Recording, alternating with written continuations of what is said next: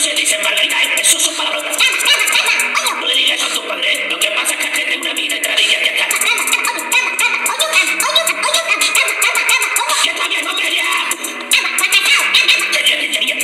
Esta es